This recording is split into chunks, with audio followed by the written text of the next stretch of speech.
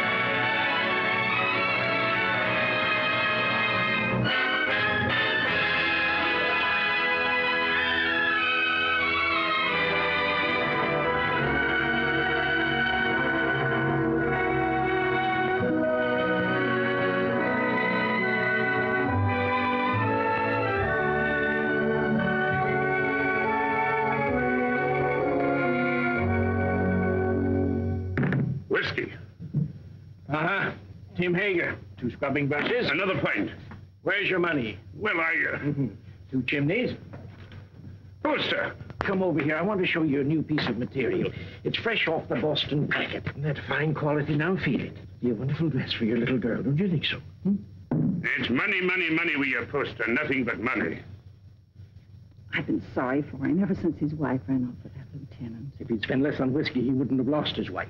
Let me show you another piece. Drunk or sober, Ma would have left him anyhow.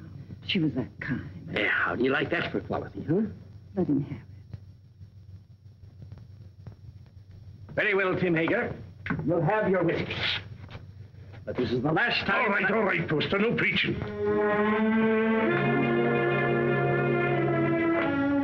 It's his little girl I feel sorry for. Poor little Jenny Hager. Faster, faster! Can't you swim any faster?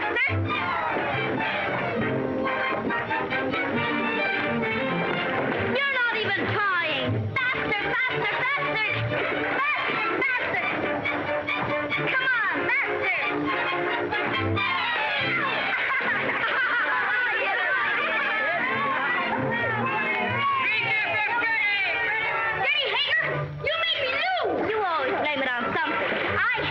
Come on, E-Train. Get ready you. But Jenny, I can't swim. You'll never learn till you get out in deep water. But I'm cold. You're scared of the water. Oh, why don't you go help your father in the store? Measure out coffee and count wormy apples. You're no good down here. Go on, Ephraim. You can't swim till you try. Go ahead, Ephraim. I'm scared. Let's pull him out. No. No. He's scared to death. Jenny, he'll drown. Who cares? What's all that racket about? The Jack, run for it. Poor Ephraim. Poor, poor Ephraim. I'll take it. Come on, Roy. Hey, what's going on here? Good gracious. It's Ephraim Poster. What's he doing in the river? He can't swim, can he? Oh, what happened, Jenny? Those awful bullies pushed him in. Poor Ephraim. Poor. Nearly poor murder, that's what it is. If it hadn't been for you, Jenny, he'd have drowned. You all right, Ephraim? The boys didn't do it.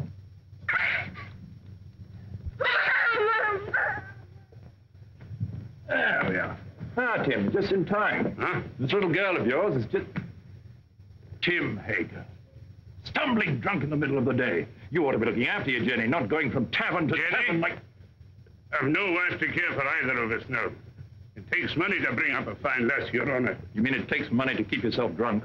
Papa, let Jenny come to boarding school with me. Would you like to come to boarding school with me, Jenny? Would you? Boarding school? Yes. I like that. I can't send you to boarding school, but you could come live at the house and earn your keep, I guess. Help in the kitchen and run errands for Mrs. Saladine. No. If I can't go to boarding school with Meg, I'll stay with my father. Hmm. All right. He is your father, at least in the eyes of the law. Now, you look after that girl of yours, Tim Hager, and stop being a disgrace to Bangor. Thank you, Your Honor. Drive on. Hurry young Poster. We'll take you to your father's store. That tight biscuit's our blooded old You might be better off in Mrs. Saladine, Jenny. Not in Mrs. Saladine's kitchen. I've no money to bring you up properly. Never mind. Before long, we'll have everything. Houses and carriages, horses and kitchen maids. All those things, my lass, you're a wee bit young. Just as soon as I grow up, we'll have everything we want. Because I'm going to be beautiful. Empty. Beautiful.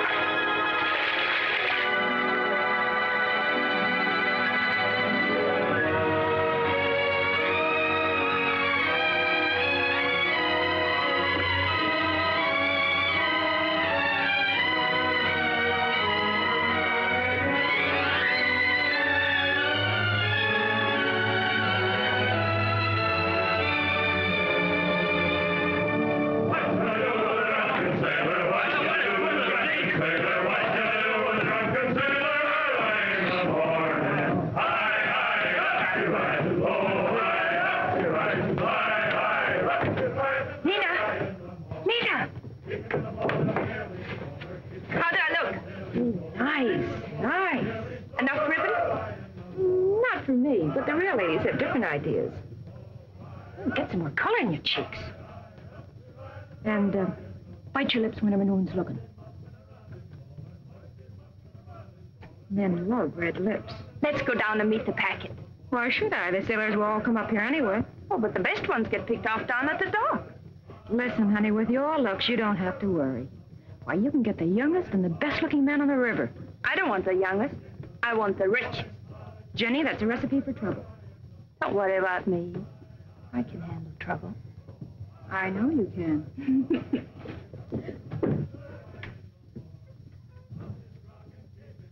Whiskey.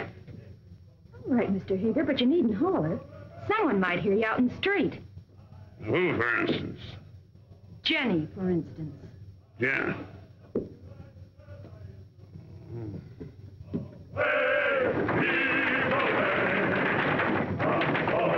Put some life into those men.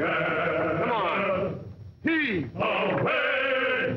Away! Heave. Yo ho! Heave. Away! Heave. Yo ho!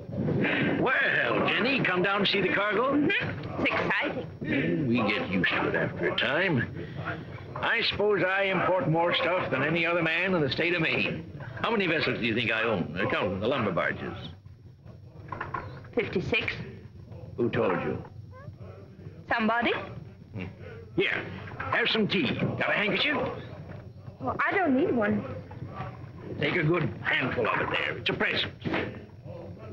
Away! Away! The work was hard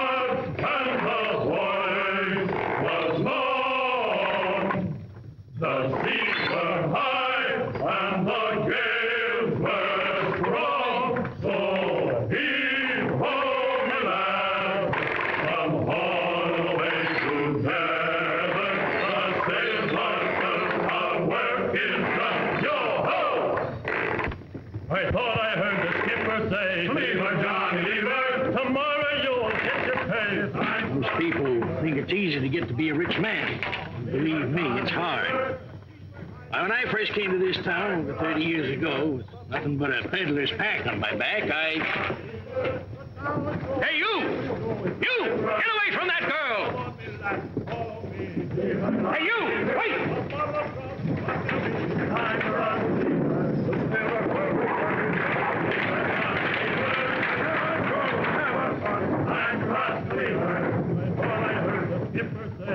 Her, Johnny, leave her. Tomorrow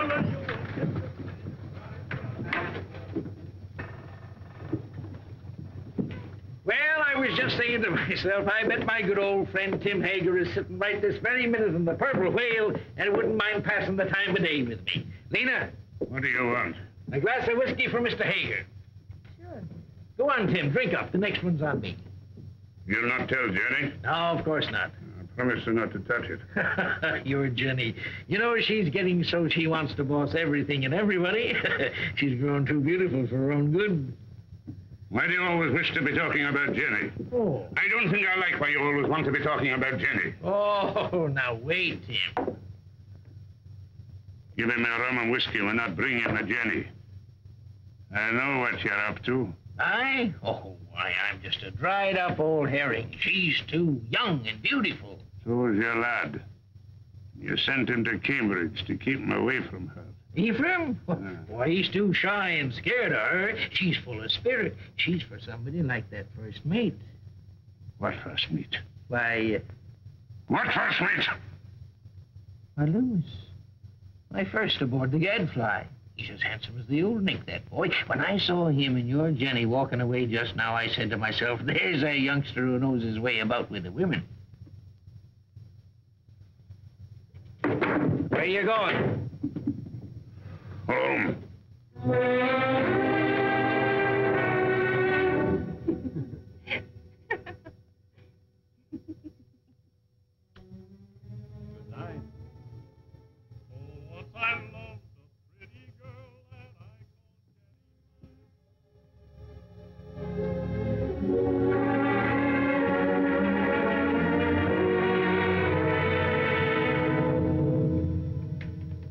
You're like your mother.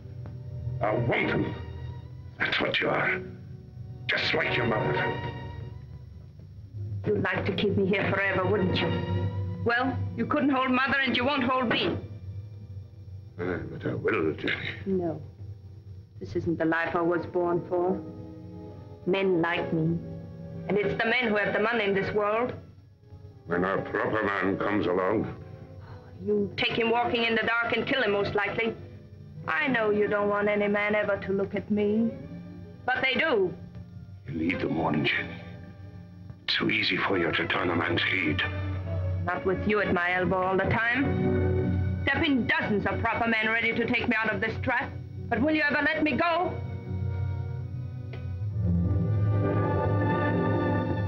I know Mr. Poster wants me. I made him want me. What do you think of that? There's a devil in the Jenny here. A devil straight from the bad place.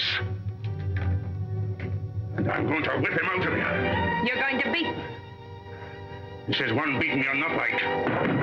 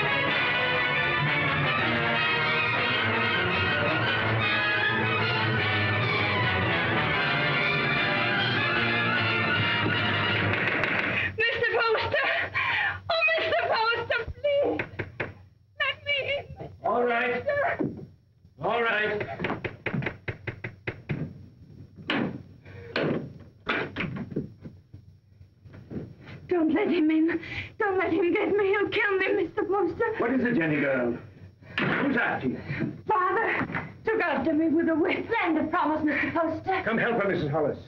There now, Jenny. Don't worry. Everything's going to be all right.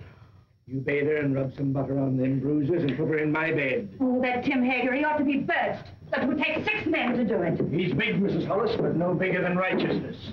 If the town don't birch him, he'll be birched by the Lord. You showed good sense, Jenny, in coming to me. I'll do this. You stay outside. Oh, there now. If you keep on crying, your face will be all swollen up tomorrow. And that's no way for a pretty face to be. He held me with one hand so, so that I couldn't move. Something you wanted?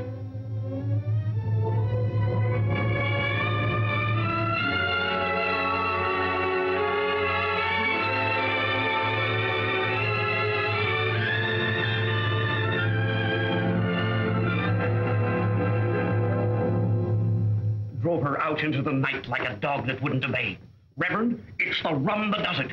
We ought to scourge every tavern keeper out of town and into the river. If I had my way... We ought to be deciding about the girl, Deacon Adams. There's been enough scourging for one night. One thing is decided. The girl mustn't go back to her father. No, someone must take her in. I would, only my daughter Mary doesn't like the poor girl. Then she's not for your house, Reverend. Make a bad situation worse. I guess we could use her to clean and maybe help in the kitchen. But a young girl eats like a man. It's more than victuals, Deacon Adams. Your wife has all the understanding in her heart that a man could ask. But Jenny's of marriageable age. Hmm. Yes, that's bad. And yet we, we can't turn her loose on the town's charity. She needs a home. Well, yours is fairly empty. Oh, no. Leave me out of it. It wouldn't be suitable for me to take her into my house, and I have no wife. You have a housekeeper, a very respectable woman. But she might leave me, and I not able to get another. We'd have a scandal in the town. Aye. No, marriage is the only answer. And the answer to that is a younger man. What about your son Ephraim? They used to be so much together. Ah, he's a schoolboy, frittering away his time at college. She needs a responsible man. Well, there must be someone. A pretty girl always has a lot of friends. What good are friends? Most of them no older than her. It's our duty to find her a good home, an honorable name, regardless of the man's age. And it should be somebody with money. And by that description, Mr. Poster, you've named yourself. Oh. Oh, no. Uh, She turned first of all to you, Isaiah. Besides, I know you're not a man to thrust a suffering lamb back into the wilderness. Maybe she won't have me. She'll marry you, Isaiah. She's a sensible girl. And in the meantime... Mary! Mary. Bring me one of your dresses. Anything, only not too expensive. I'd be good to you, Jenny, if you married me. Like a father. A good father. And he ought to know how with a son your age. You can go back to sleep now, Mrs. Hollis. You've done all you can for tonight. I'll make up Mr. Ephraim's bed for you, Mr. Poster. It ain't as warm there, but you'll be comfortable. Your father couldn't come after you, Jenny, if you married Mr. Poster. You'd be free. An intelligent girl thinks of the future when she chooses a husband. And you'd be a rich woman. It's for you to decide.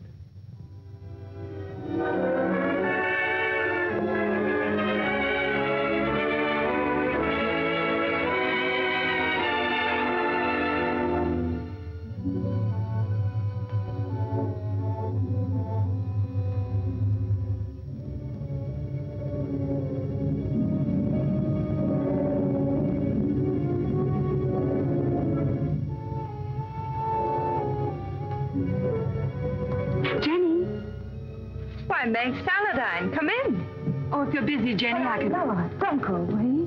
I, um... I was just ordering something from Boston. Mr. Poster's a very lucky man. This has been a very lonely house for him. Out of change. Meg, yes? Will you help me? Of course, Jenny, of course. The water glass always here.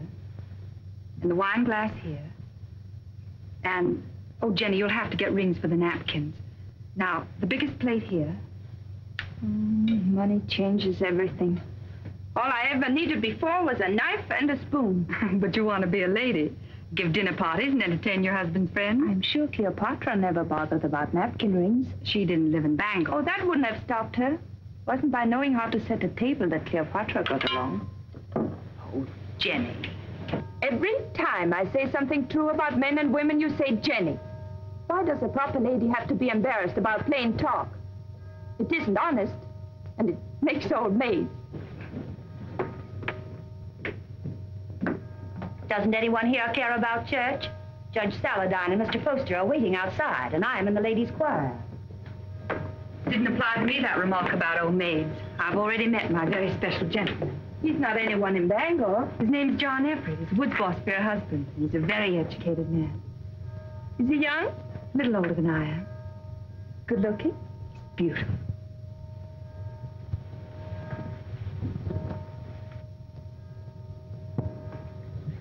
Why don't you marry him?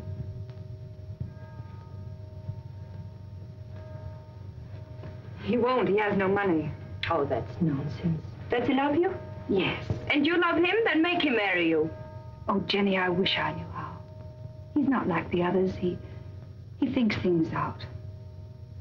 I'd know how.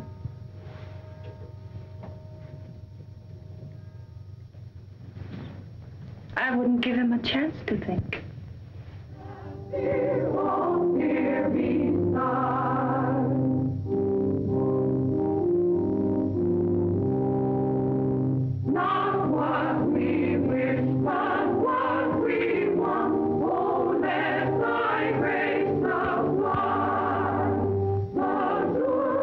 Jenny Hager. Jenny Poster.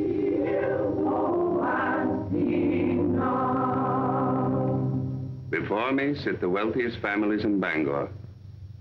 I've seen them before in the privacy of their homes and in their offices.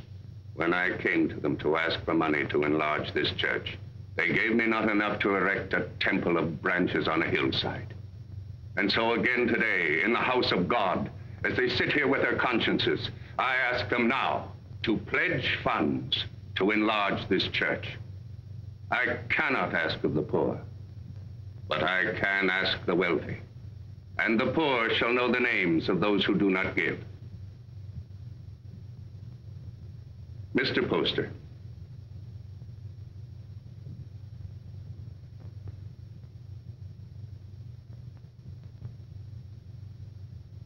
Judge Saladine?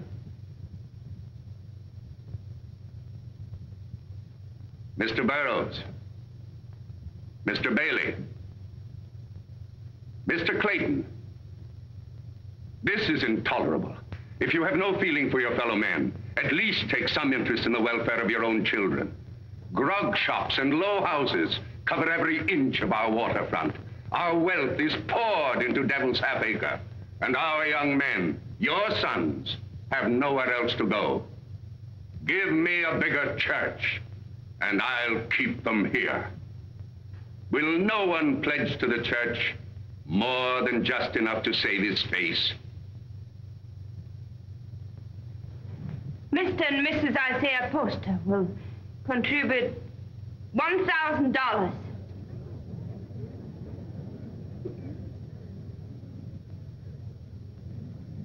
If the men of Bangor won't give to the church, the women will. Mr. and Mrs. Partridge pledge $500.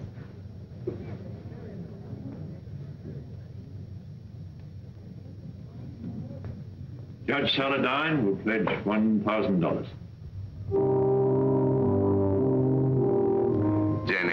I want you to go on working for the church. A church can endure only upon deeds and not lip service.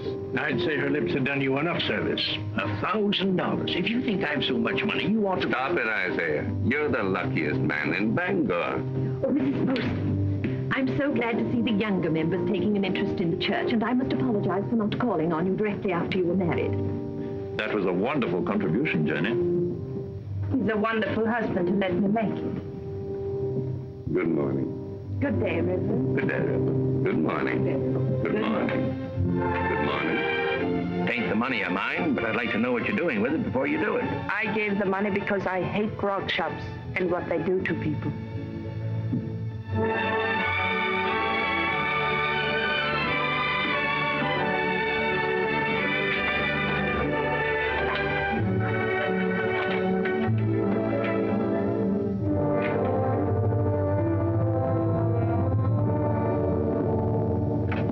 Father? Hello, Mother. My name's still Jenny.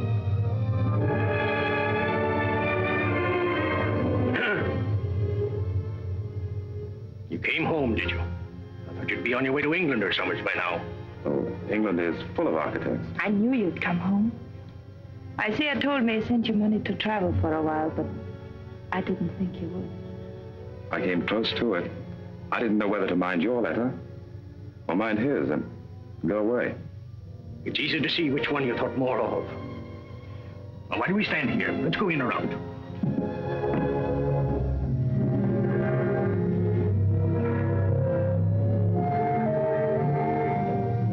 And let me do the writing to my son.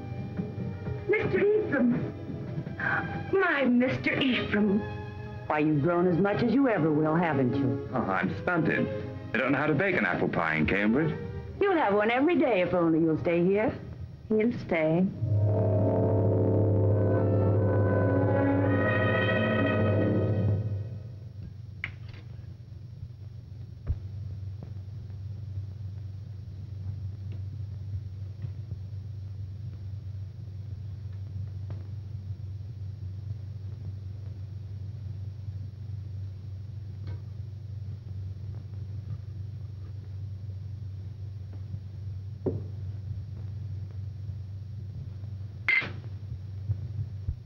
You'll find little to keep you in Bangor, Ephraim. After your fine ways in Cambridge, you'll be hard to please in this town. I thought I'd come home and go to work, sir. Work. Yes. What's your time worth to anybody? What did you ever do but waste it? It wasn't wasted. He's an architect. And a good one, too. How do you know? The same way you know he ain't. You heed my advice and you'll go someplace more suitable to a, a gentleman. Bangor's a boom town. Loud, rough. Growing faster than law and order. Takes a strong, stubborn man to make his way here. We need gentlemen, too. For what? To tell you the kind of bonnets and doodads the Boston ladies are wearing? Yes. A young man of fashion would be very popular in Bangor.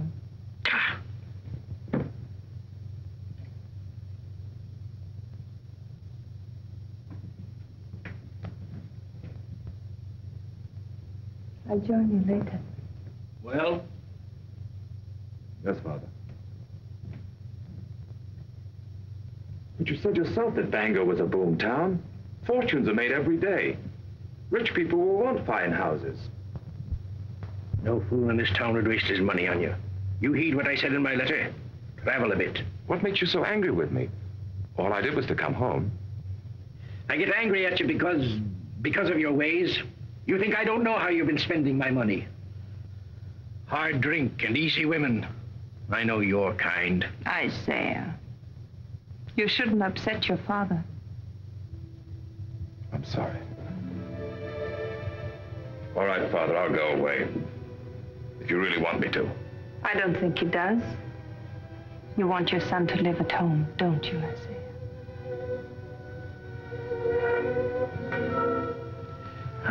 Got a headache from all this talk. I'll lock up. It's time we all got some sleep.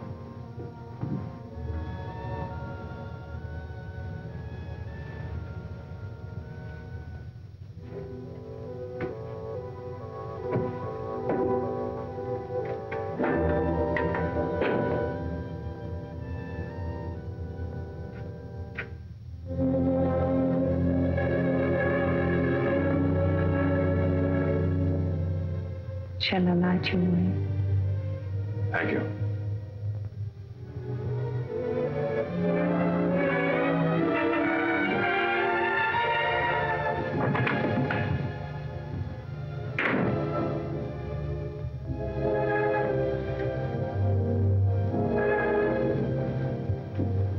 It's been a long time, Ephraim, hasn't it? A long time, a lot of changes.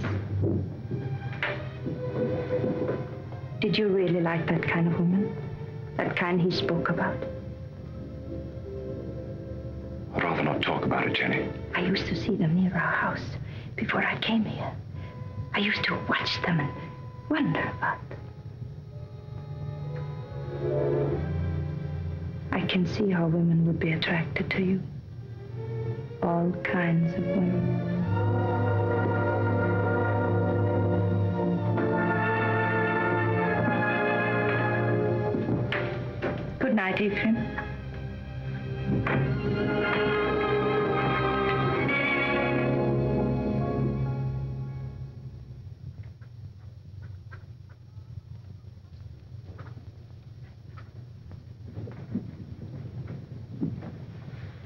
Got everything? Yes, all the groceries, but no spectacles. They're hard to find. I'll tell Dr. Mason to bring you a pair when he comes by tomorrow, all right? Please, not Dr. Mason. He's a very good doctor, but he won't wait for his money. You're not to worry about money. Your husband worked for mine for a long time, and if Mr. Poster wants to send you a doctor and a pair of spectacles, it's his privilege. Mr. Poster. I'll be by in a few days, and in the meantime, if you need anything, send one of your children. Thank you.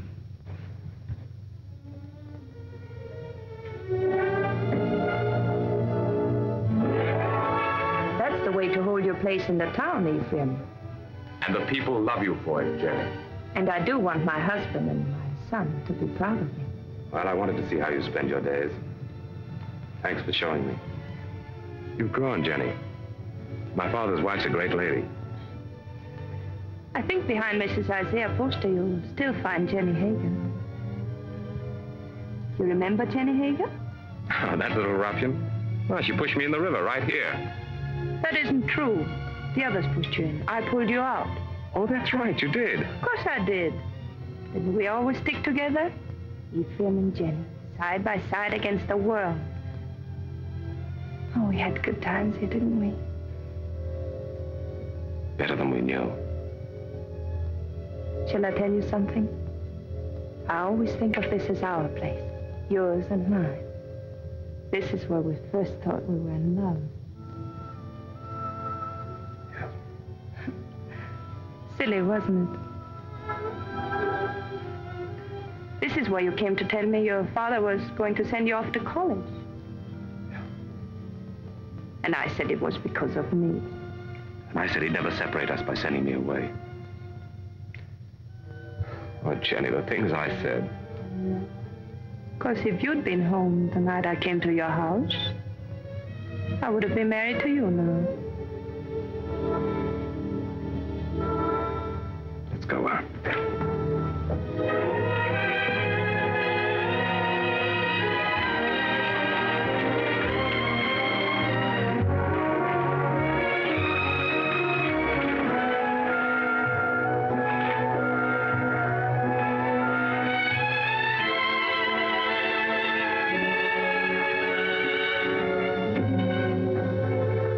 Come into the store and wait Time, Jenny. I want to go up and talk to Father.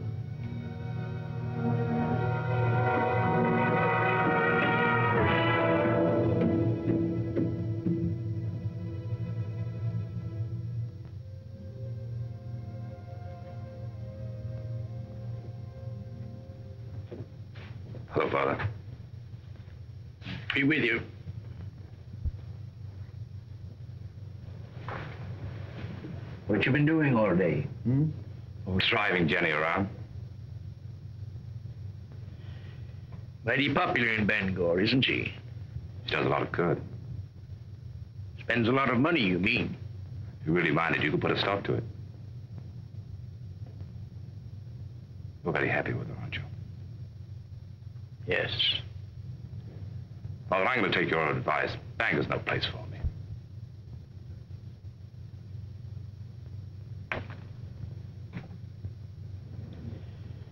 When will you be leaving? Right away before the river freezes. I thought I'd spend the winter in Boston and then go off to Europe in the spring. I think your father needs you here, Ephraim. Why, Jenny, you feet like a bird. I didn't hear a sound. You want him to stay, don't you, Isaiah? Why don't you tell him you want him to stay? Can't you be honest with your own son? I'm honest with everybody. You, you might be of some small use to me if you stay on. But if you don't like it here, get out. Only don't come reaching back again. If you go, I'm through with you. I'll take you home.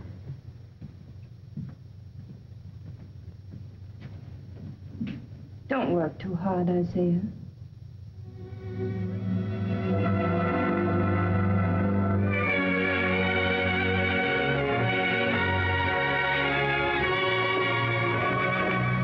Surprise. When Bangor's Lady of Mercy goes out to deliver her packages, her stay should fit the season.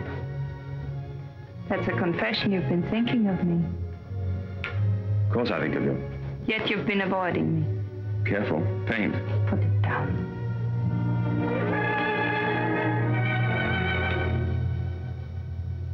You leave the house early and you come home late. You never walk into a room where I am unless someone else is there. Why? Jenny, we shouldn't be standing out here like this. We might just as well be out on Main Street. Anyone could pass by. They wouldn't think anything wrong of it. You wouldn't. If you weren't thinking of me as you do. Jenny, you're married to my father. And his son loves me. He's been so good to both of us. His son has always loved me. I should have gone away. But you couldn't. Because you love me. Yes, yes, I've loved you since before I knew the meaning of the word. The day I came home, the time you kissed me. The moment I said I'd stay here, I've loved you and loved you and loved you. Jenny! Jenny!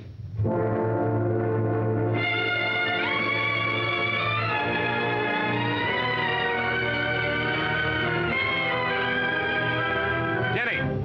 Father's very ill. Send for a doctor.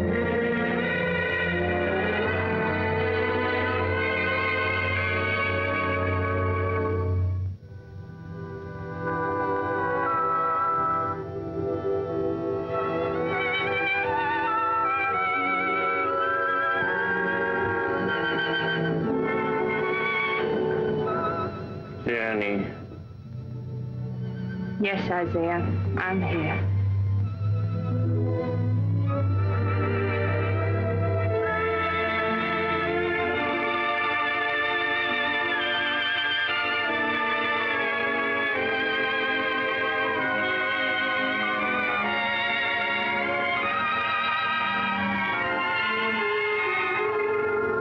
You keep this up and you'll fall in your tracks. Go to bed, child. Get some rest. No. I'm strong. Stronger than you think. I'll be all right.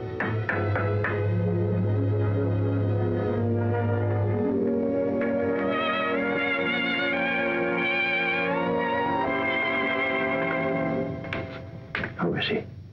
Just the same, sir. Is there any possibility of speaking with him, Jenny? There's trouble in town. Dr. Mason says warm weather might bring him around. But that's a long way off. We're at our wit's end. There are too many people in town, too much idleness.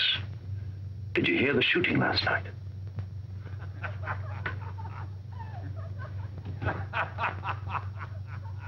That's the sort of thing we're up against. Lumberjacks coming to town between jobs with rum and women on their minds. He told us two years ago we should have a police force. We should have listened to him. Well, Jenny, take care of yourself. Meg sends you on love.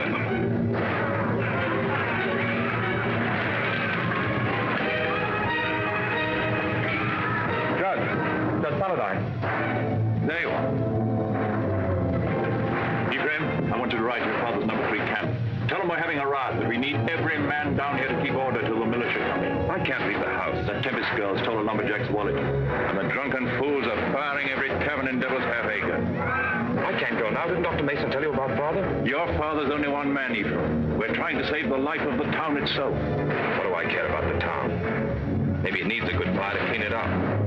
He'll go. I'll stay with your father, Ephraim. Hurry, Ephraim. We need those men.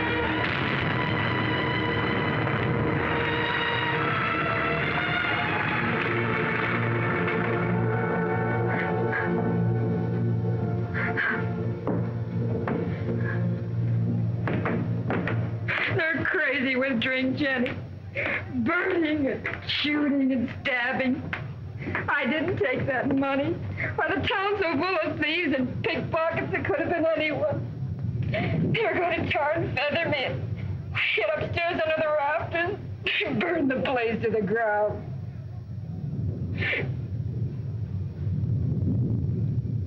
If I'm to go up to Camp 3, I better leave now. I want to be back in the morning.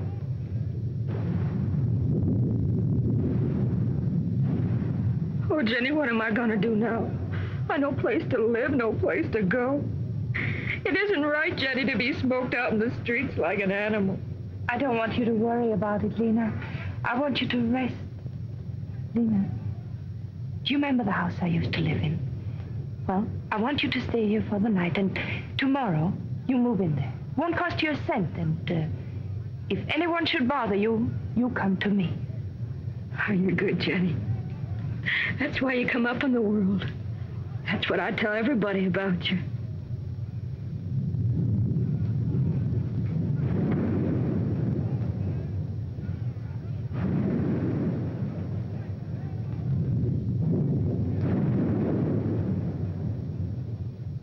Jenny, you're wonderful.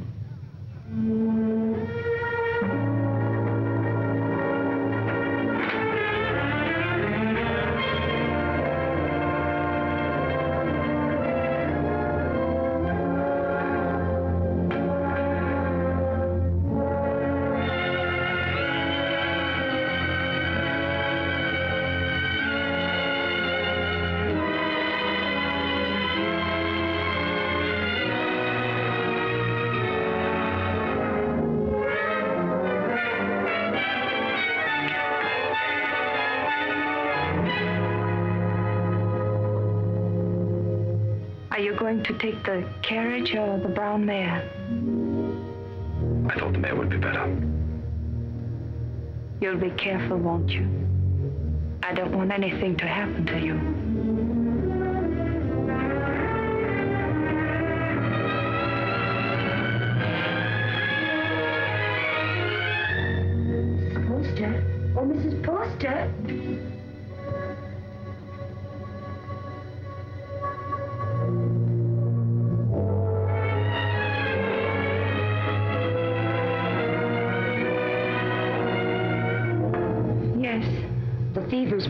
He's breathing better.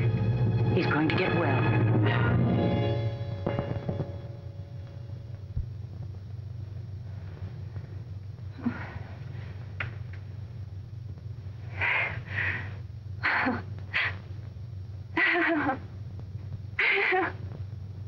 Jenny, my poor child.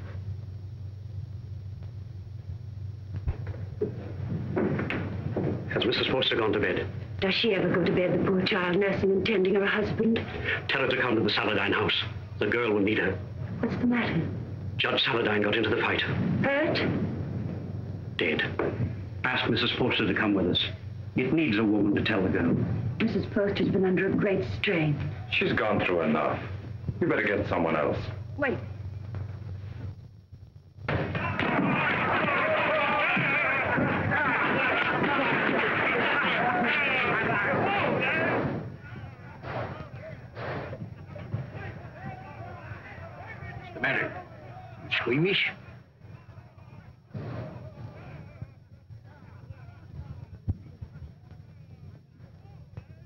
Still fighting. Can't someone ask for permission to bury the dead?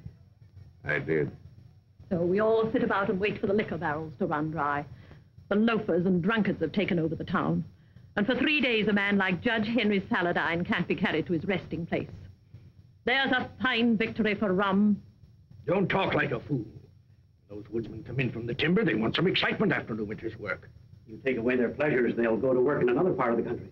It only proves that we've got to have a police force, some sort of city government, that's all. You've been too tolerant a man, Isaiah Poster. Too interested in lining your pocket. When my lumberjacks come down from the hills, they'll patrol the town till we get them decently harried. Why don't you lie down for a while? You worried about me, Jenny? That you'd found out what kind of a tough old tamarack you'd married.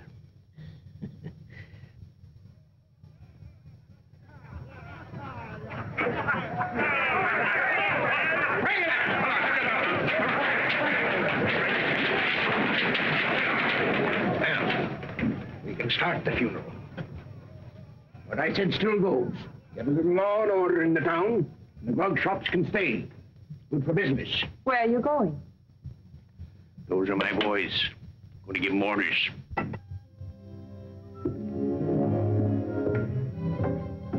Look,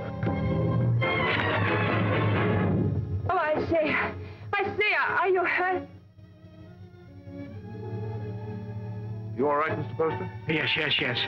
Now, John, I want you to take some of your men ahead of the funeral procession, put some alongside and some at the rear. Keep it all as quiet as you can. The funeral should seem peaceful. Uh, Jenny, this is John Evered, my wife. You're Mrs. Poster? She sure is. How do you do? John. I thought I heard your voice. Meg, Darling, I'm glad you're here. It's terrible about your father. I hated your being alone when it happened. I pretended to myself that you were with me. It Gave me strength. But if we don't have the funeral soon, I, I'm afraid I, I'm going to break down. Reverend, we can start now. I'll tell the others. There'll be no more trouble. Now John's here. Meg, you'll come to our house this evening. You'll be with us, won't you? Thank you.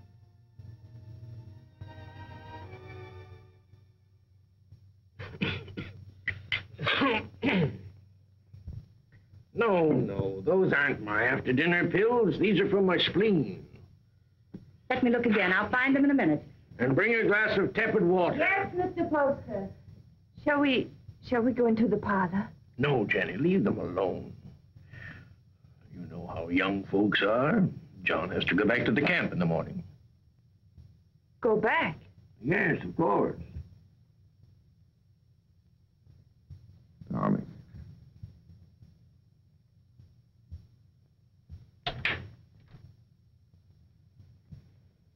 Our lovebirds have closed the door. The pills, Mr. Poster. And the tepid water. Thank you. Huh? Why must you send him back when he's the only man who can keep order? Because I need him up at the camp. He's a woods boss, not a policeman. Of course, if your business means more to you than the safety of your home and family. Jenny, he's got to get that timber cut. That's all there's to it. I'm sorry we were so long, Jenny. I thought you and Mr. Poster would come in. I wanted you to be alone. Surely you can stay in Bangor a few days. I'd like to. She needs you. Well, I'm afraid I'll have to be away for a little while. She won't be alone. I'll take care of her. Till you come back. Thank you. That's very good of you. I don't want your father to trade these for whiskey. They're for you and your sisters. Mother said to say thank you and God bless you. I think you ought to go around to the kitchen and thank Mrs. Hollis. After all, she feeds the chickens.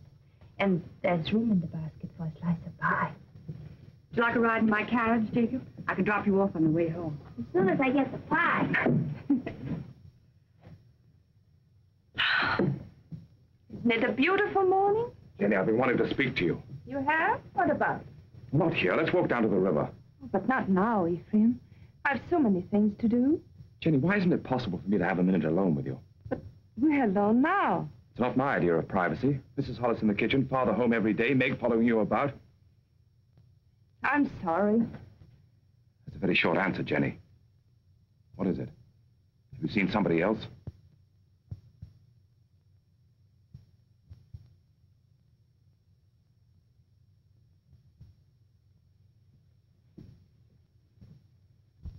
They stole nearly 10,000 feet of first run pine. Where? Upper Big Bend. And there's not a trace of who did it. Mr. Poster, unless you get the law to step in, there won't be a choice tree left in that whole section.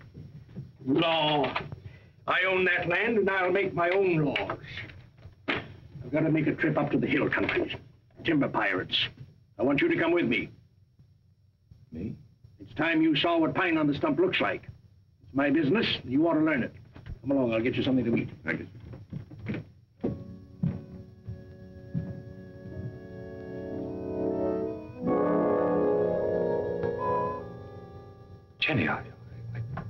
waiting for?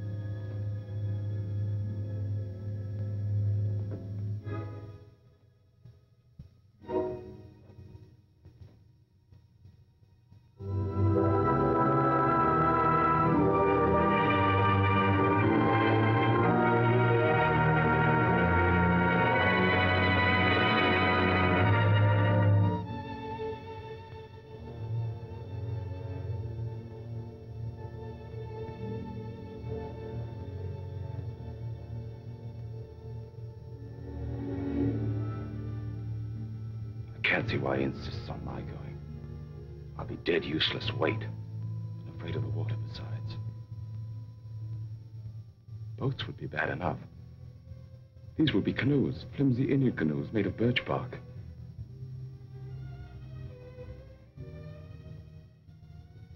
Jenny, I can't admit to him that I'm frightened. Tell him not to take me along or not to go at all. I told him I wasn't cut out for that sort of life, that I'd be more of a burden than a help. But he's so stubborn, Jenny. How long must he live, Ephraim?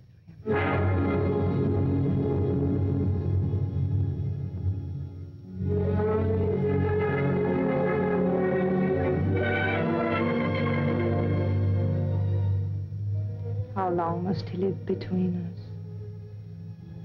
Jenny, don't talk like that.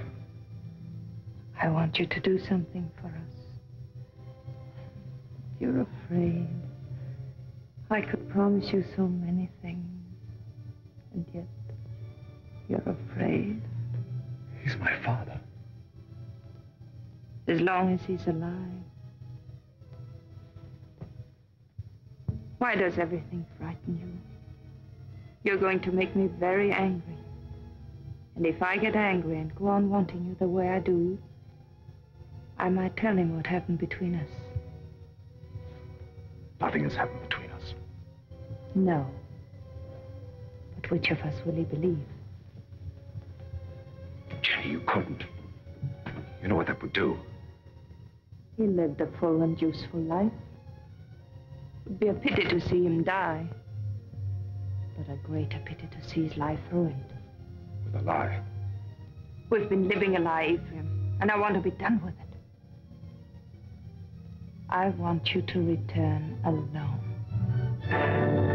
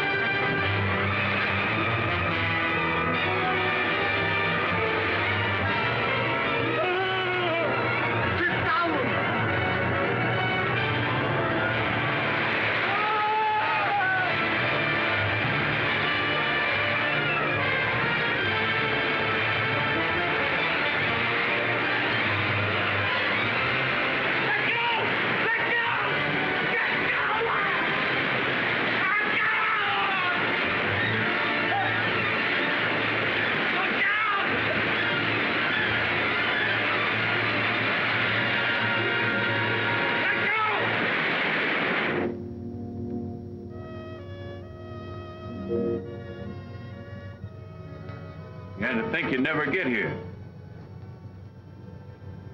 Where's the old man? Where's your father? What happened? What happened? You make old man die. Now, we go through swift water. Be afraid. You stand up in canoe. And the canoe turned over. Mr. Poster was too weak to swim. They fought to see which one would get that bailing bucket. I guess you can see who won. He. He's dead? I guess he is, ma'am. Where's his body? Must have settled in the quiet water further down. I'm sorry, but we hunted all we could. I'm sure you did. That's the whole of it. Except what Mr. Poster here can tell you. If they hear of anything, they'll let you know. Thank Jenny, believe me, it wasn't my fault. I was afraid. You know how afraid I am of the water. You can't come into this house, you wretched coward. You killed your father.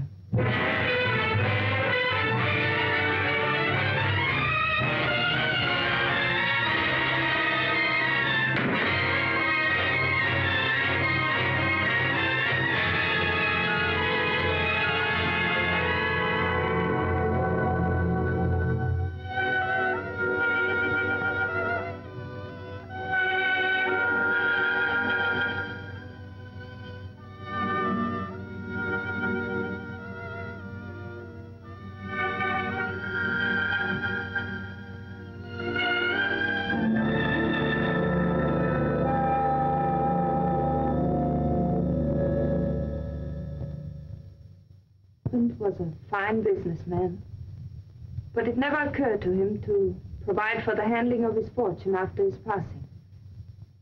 Well, there'll be no cold on Friendly Bank telling my woods bosses what to do. No disrespect intended, Mrs. Poster, but it's a man's world we live in up in the woods, and we don't rightly see how a woman fits in. Duncan's right. Right, man. You'll go right on living in your world without interference. I'll own the properties, but you'll take your orders from your superintendent, John Evered. That's fine. That's fine. That's a great honor, Mrs. Poster, but I... My husband would have selected you, so I'll do it in his place. Thank you for helping me, gentlemen. This will be the first time I ever worked for a woman. Down in there.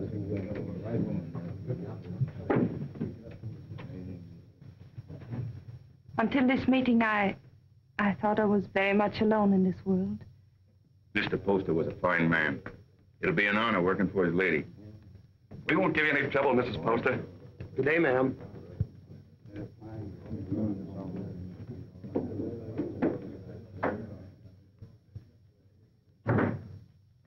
This is a wonderful thing you've done for me, Mrs. Poster. Have you any objections to working for a woman? Well, that depends on the woman. It'll be like managing a kingdom. Mr. Poster used to think of whole townships as other men think of acres. It really is a kingdom he built up. It's too bad. Too bad there's no heir to take the throne. Yeah. Poor Ephraim. I never gave him a chance to explain. I accused him without proof. What more could you need? They saw him do it. I didn't. And I know he loved his father. You've got to stop brooding over it, Mrs. Poster. You'll only harm yourself, and it won't help Ephraim. I saw him on the street last week. He was drunk. And Deacon Adams was shouting, You've chosen your damnation, and eternally damned you'll be. There wasn't anything you could do to save him. You were very tired, Mrs. Poster. I won't be after today. I've placed my troubles on your shoulders. Please carry them well for me.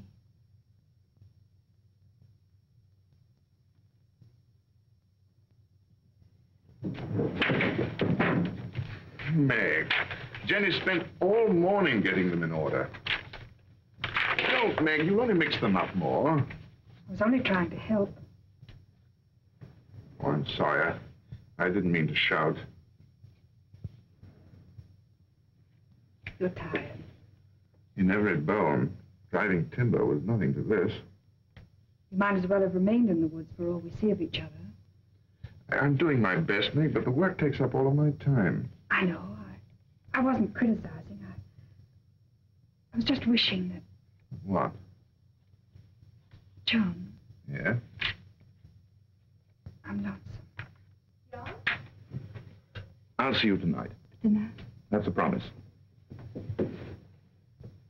Meg, I haven't seen you for days. Food for a hard-working man. Ah, that's nice. And a cup of tea for both of us. You'll have some, Meg, won't you? There isn't enough for the three. I'll give up mine. The accounts receivable are all mixed up. I had them in order, but then the wind came in. Oh, later, later. You haven't eaten since morning. Meg, your man doesn't take care of himself. You better do it for him, or there won't be anything left of him to marry. John, there's a rumor that it comes steamboats. Is that going to affect us? Not while water freezes, because then steam's no better than sails. But steam trains, Jenny. Just think. There'll be one to Old Town, and one maybe to Houlton, and definitely one coming this way from Augusta. And we can load our wood right on our own trains and get into market weeks before the ice breaks. We'll outsmart everyone in the business. There'll be no stopping us once we get started. Jenny, you'll be the richest woman in New England. Then we'll have to make you the richest man. What's happened to Meg? Meg?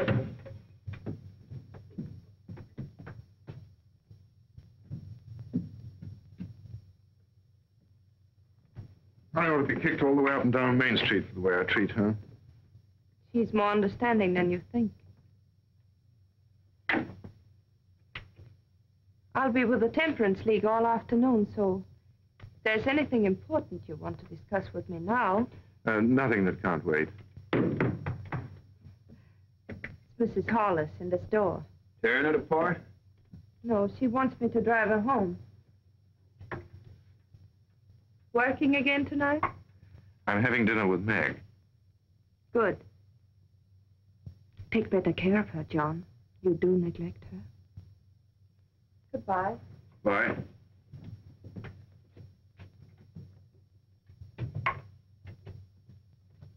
Camp three. Thank you. She's a wonderful woman. Someday I'm going to pull a bottle out of his hand and bash his head in. What are you talking about? Young Poster. You should hear the things he says about her. Has he been talking about her? Why, that drunken little... I've seen her nearly sick with worry over what he's doing to himself. Find out where he stays. I want to see him.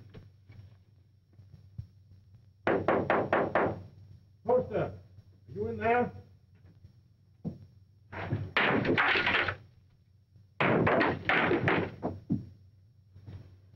Huh. I must be making trouble. Much more than you're worth. I'm worth very little. What happens to me now? You beat me up yourself with some of the boys outside. Come in, come in. Drinks for everybody. No one out there. We're alone. That's much better. No witnesses. I had witnesses when I killed my father. That made her very angry. Where did you last eat? I have my food. How do you like your new job, huh? I like it. She hasn't got you hooked already, has she? You'll kill yourself drinking all this stuff without any food inside you. Come on, let's get something to eat. You're doing me out of my dinner. She doesn't know I'm here, and she didn't tell me anything. That's a lie. No one does anything unless she's back of it. I knew what was going to happen. I was afraid of her. I wanted to leave. She didn't have to worry about that. I wasn't man enough to run away. You love with? I happen to be engaged to someone else. What difference does that make? Jenny was married to my father. She told me one night she'd marry me if he died. You don't believe a word I say, do you? Like everybody, no one will believe me. Go on talking. The night before we were due to start, she made love to me till I was nearly crazy. You don't believe that either, but it's the truth. I've always been scared of the water. Even when I was a little boy, Jenny knew that.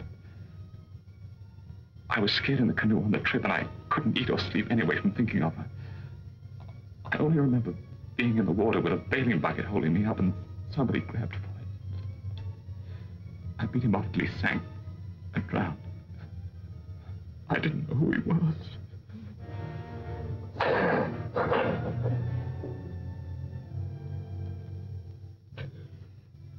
She's so rotten. You've got to believe me. She's not even a human being. Maybe I did know who he was. Guess I did. She'd put the thought in my heart. If I hadn't done it then, I know I would have later.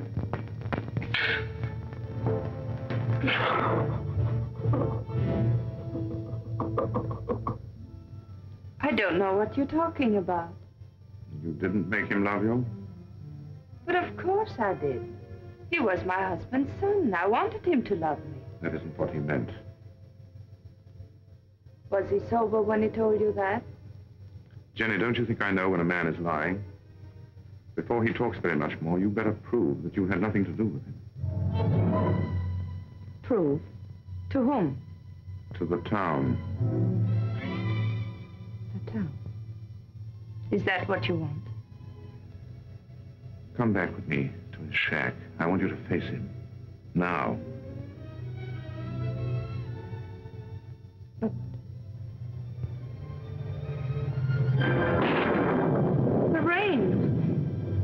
You know what happens to the roads in the rain? Yes. They get very muddy. But they don't change their direction. Good night. Oh, no. It isn't that I'm afraid. You mustn't believe him. Please.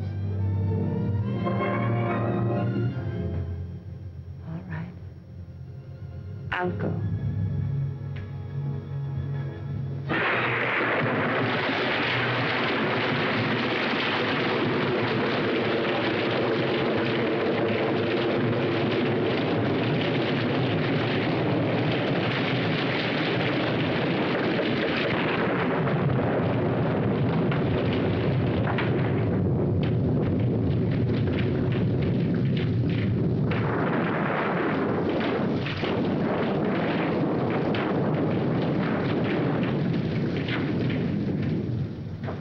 Can't have gone far in this rain. We'll wait for him.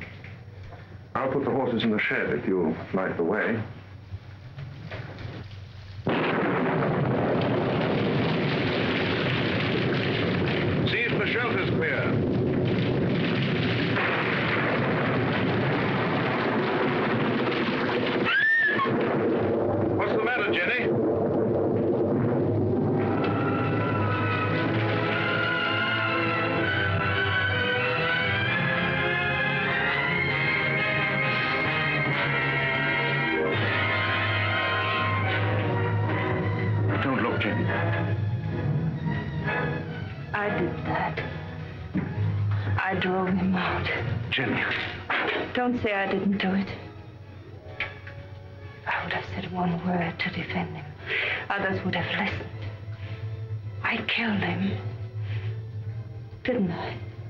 Please.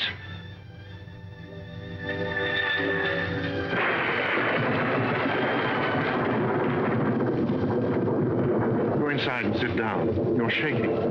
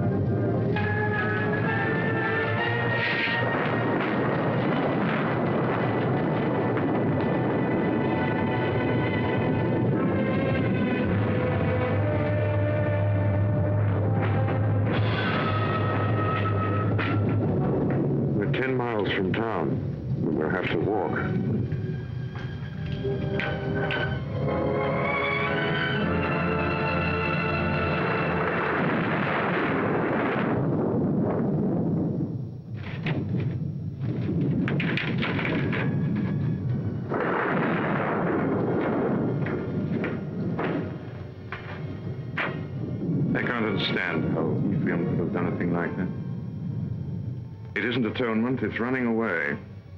And you can't run away from the hereafter. It's not Ephraim who's upsetting you.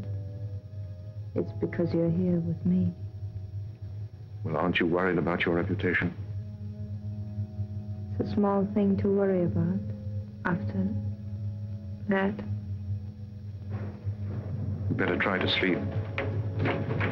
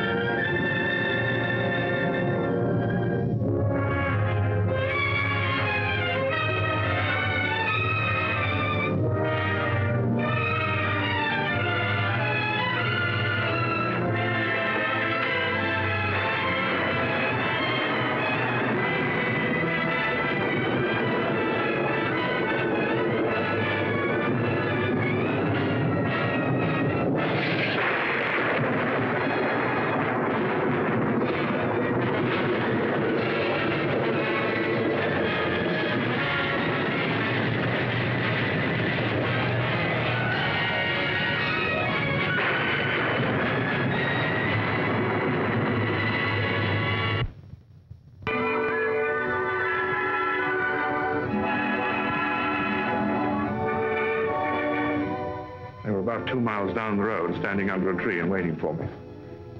and uh, the carriage? Just a broken axle. I can fix it in an hour.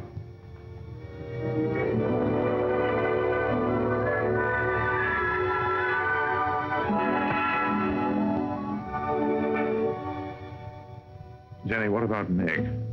She won't try to hold you. I know, but to stand up to her and tell her that I love someone else. You won't tell her. A big, clumsy fool like you. It's a woman's job. Oh, no. But she's a friend of mine. I can make her understand. I'll tell her myself. But, John,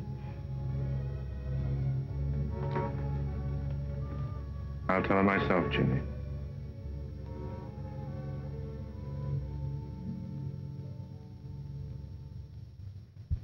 Must have been the storm. That's the only way I can explain it. The storm and the excitement and the lightning struck us. What more can I say? It's nice that we're such friends. Makes it easy to talk this over. There's nothing to talk about. I love him. But if you still want him, he's yours. You know that. You know I'd give him back to you if... if you asked me to. I suppose I'm a fool. Why? I should have realized that when he said he loved me, he must have said the same thing to you just the day before. No, he didn't. He never said those words to me. I thought it was because he was shy.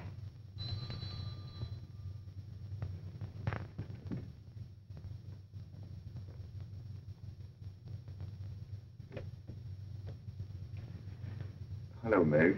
Come in. I, uh, just wanted to explain why I didn't come to dinner last night. Right after you left the office, Alex Duncan came in.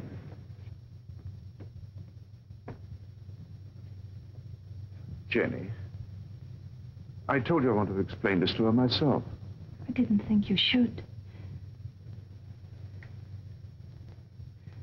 I'll be waiting for you outside.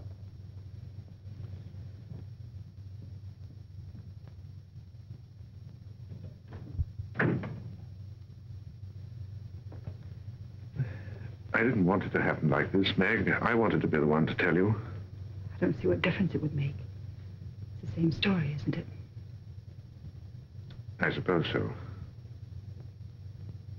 When will you be married? Right away? Bangor? I don't know. Jenny will take care of the details. I saw this happening a long time ago. There was nothing I could do about it. She's waiting for you.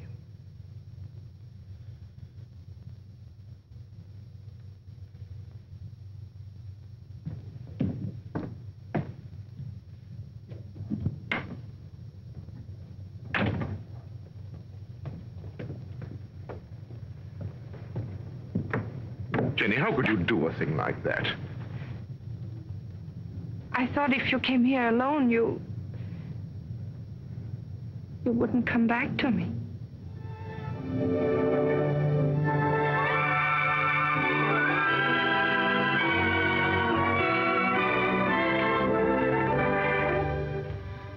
My dear son, I wanted to be with you this Christmas, to see you again, and to meet your wife.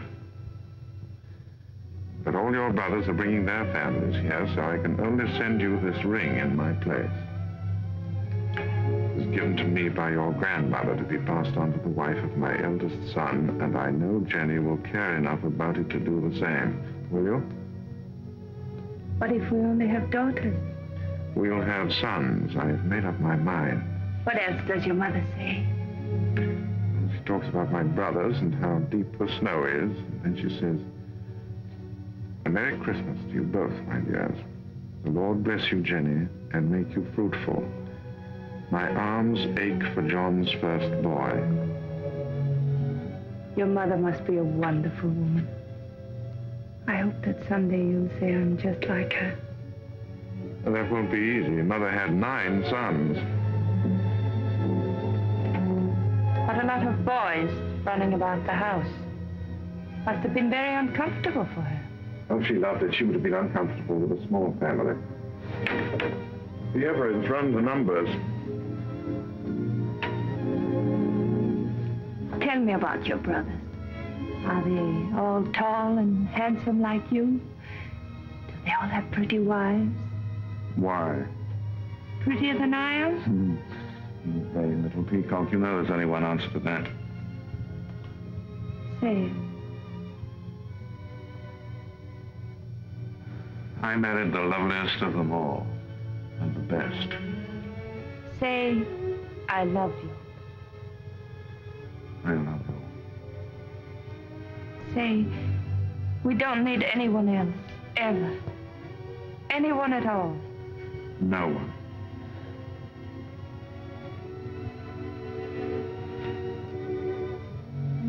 I always lose happiness.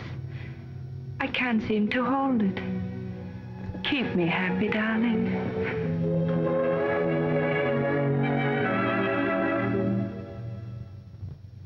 There's no reason why this should happen to you. No reason why it should happen to any woman. Quite often, nature seems to fumble, Mrs. Evered, and doesn't make a person complete. We can't even hope in a year or two or ever. Not in my opinion. Of course, you're free to consult with another doctor. I can give you the name of a very fine one in Boston, and I know of another in Philadelphia. I believe you. You mustn't decide, my dear, that the future's altogether dark and empty. You can adopt a child, you know. It should give some release to your normal womanly emotions. I want a child of my own. You won't talk to my husband, will you? I'll tell him myself when I think it's the right time. Of course. You see, he wants children. He's very fond of them.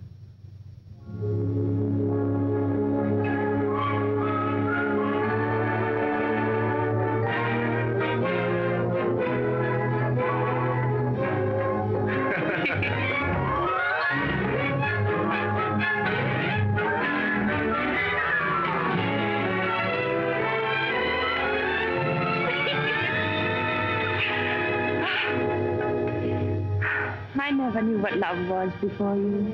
I know now. I was never married to Isaiah at all. Jenny, I want you to forget Isaiah. I want you to forget your whole life before I came into it. You know, a lot of new furniture isn't going to change that house. Why do you want to go on living in it? It's a good house, John. It'll stand for a long time. At least until we know just where to build another. Well, I'm not finicky about where it'll be. I just think you want to go on living in that old tomb. What do you say, Jenny? Should we start building our own house? But That is our house. belongs to Isaiah Poster. Let him keep it. Ah, but he's dead and he left it to me. Long him and his son, and it's full to the roof with sorrows. I want to get out of it. I want new rooms and more of them. And for the sake of our children, I want light and air. There are enough rooms now. Which isn't the right house, Jim. It's too close to Devil's Half Acre. It isn't the place to bring up children. There won't be any children. Nonsense. Is it? Ask Dr. Bailey. He'll tell you.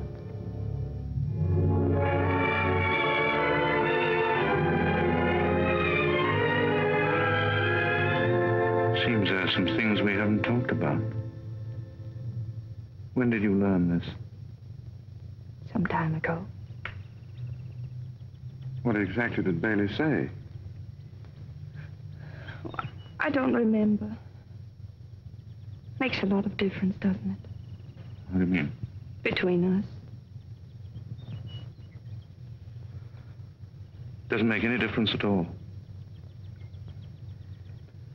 There are many things a husband and wife can live for. That's very sensible, but I wonder what you'll think in a few years from now. I'll think that you're more beautiful than ever, and that I love you very much. Oh, look. There's Lincoln Pentridge. He's a great man. He has special powers. Oh,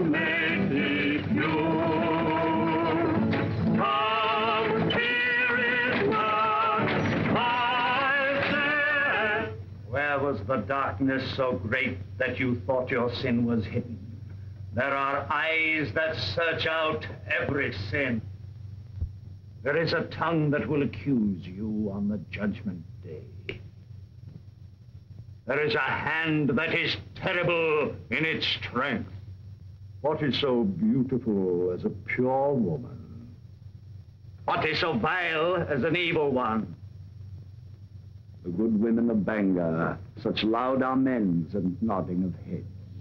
Because I spend my fury upon her, and not on you. How pious you are. How good with your eyes cast upward. Can one of you step forward and say, This is my soul? See how it shines? Can one of you hope to escape the terror? How sweet are the ladies of Sodom and Gomorrah. How sweet in silks and satins and laces and ruffles. Here in the house of God. How costly must be the perfume that will not let you smell brimstone.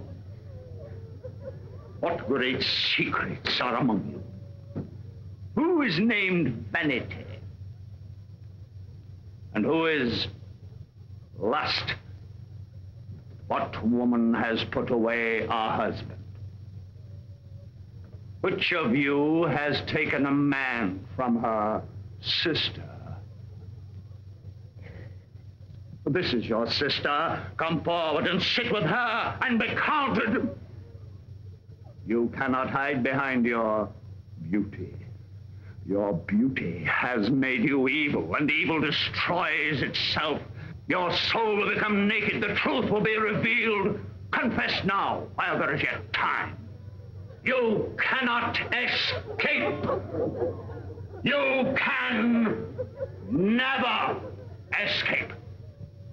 There will be no sons to mourn for you, no daughters to weep for you. Evil does not propagate itself. It withers in its own fire and is consumed.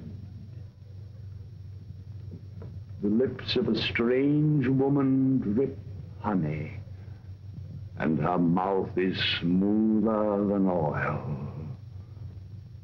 But her end is bitter as wormwood, sharp as a two-edged sword.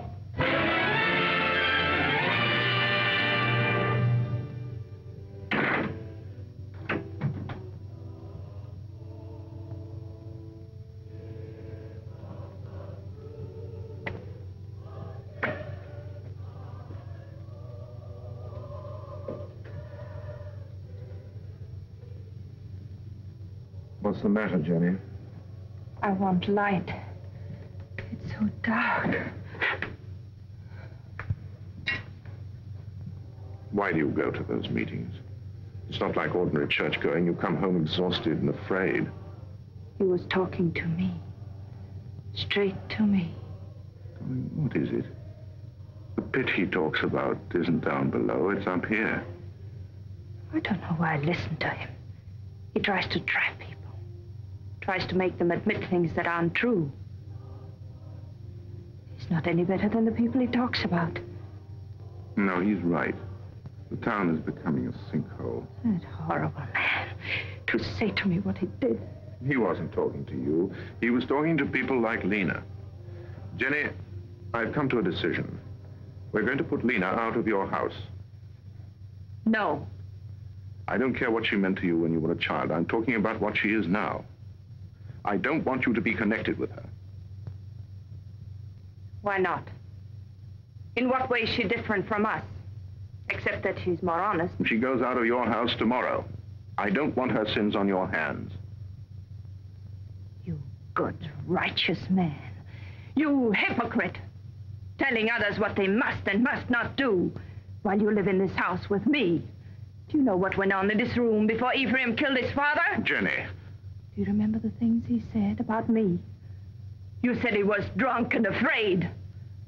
Of course he was afraid. We're all afraid. There's hell opening under our feet. Jenny. This is where he sat. Sit down, John, and I'll show you how I made him kill his father. Sit down and I'll kiss you the way I kissed him. Why do you look at me like that? Why do you pretend everything he told you was true and you knew it? You knew it!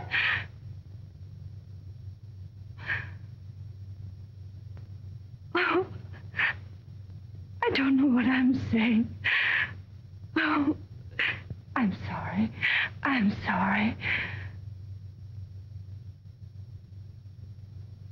Go to bed, Jenny. Please go to bed.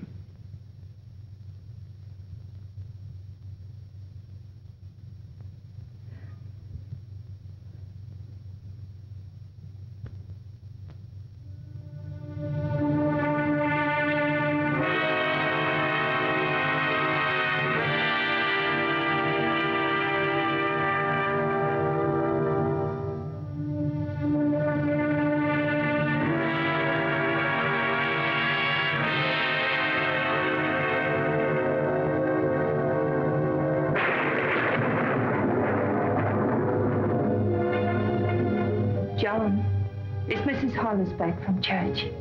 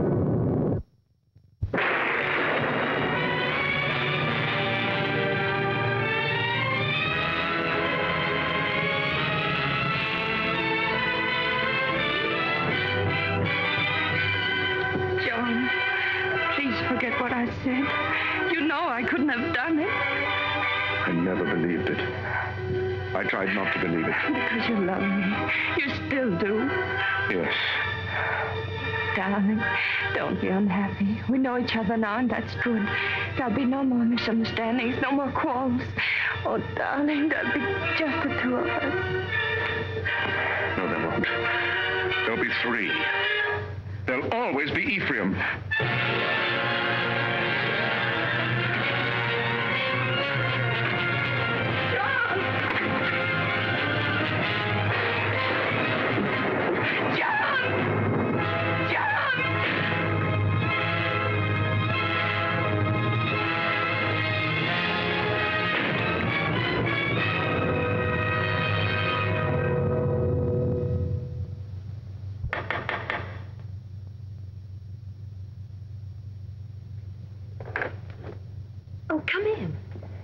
Mary, I'm looking for Mr. Evered.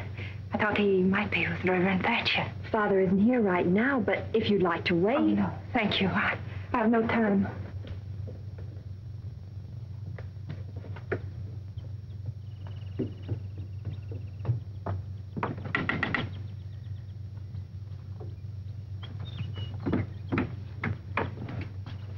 Good morning.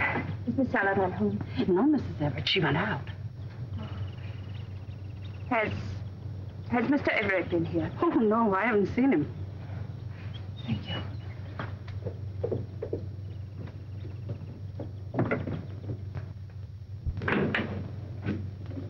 Oh, I thought it was Mr. Evered. Do you know where he is? He didn't come in here, ma'am. I slept here last night on account of the rain, and you're the first one in. Mr. Evered tells me you're sending a school teacher up to every camp with more than two families. That's a handsome thing to do, ma'am. Guess you're mighty fond of children. Duncan, who did sleep here last night? Was it you Mr. Evered? Ma'am, I told you. Oh, that's just another one he has. He sometimes... He wore this hat when he brought me home from church last night, and he wore it again when he went out for a walk. Now, why aren't you supposed to tell me where he is? You put me in an awful fix, ma'am. I promised him... that- Duncan, he isn't well. Couldn't you see that? What good is a promise to a sick man when it keeps his wife from helping him? Is that the trouble with him? I kind of thought he looked funny around the eyes. Where is he? Well, I'm not telling you, mind you, but that'd be the wrong kind of hat to wear up in the pine country. Where in the pine country? Fire watcher's cabin. Indian Hill. When will he be back? I don't know. Two, three days, I guess. Said he wanted to go up there and think a while. Oh, I got a loose mouth. That's my trouble. Makes two people I told where he is. Who is the other? Miss Saladine. Miss Saladine. Came in here about an hour ago and dug it out of me just like you did. Said she saw him last night alone. Acted like something was wrong. Next time he trusts me with anything, it'll... It was very good of you to come up here, Meg. But there's really nothing you can do to help me. No one can help me but myself. My whole life with Jenny has been the act of running away. I ran away from the woods where I belong. And again, I ran away from the truth when Ephraim tried to tell it to me. I forced myself not to believe him. I understand. If you had, you never would have married Jenny. No. This time I'm not running away. Right or wrong, my place is with Jenny. I love her, and I'm going back to her. John, I'm glad. Because I believe that her love for you has made her as good as everyone always thought she was. Shall we go now?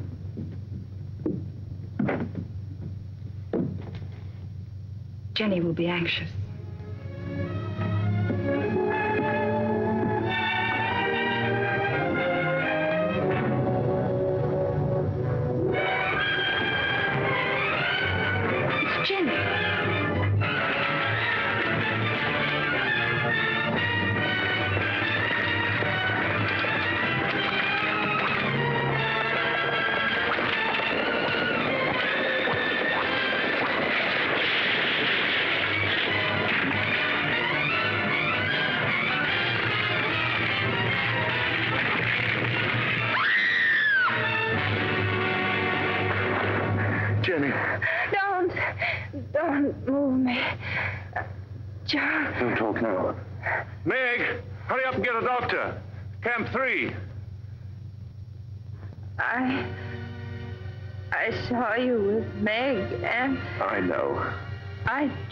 To hurt you.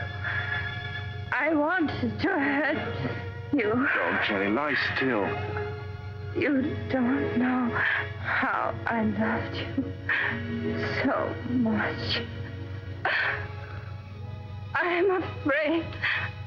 Oh, John, where will they bury me? Jenny, don't talk about dying. Don't let them bury me with Poster. Or Ephraim, don't let them. Jenny, you're going to be all right. There'll be a doctor along and we'll take you home. I know. They'll bury me with Ephraim. They'll bury me in that house with Ephraim. Jenny, darling, listen to me. Nothing's going to happen to you. Not now or ever. As long as I'm with you. And I'll always be with you. I never went away. You do love me. I love you more than ever. I wanted so many things. I wanted the whole world. But it was really only you. Jenny. Jenny.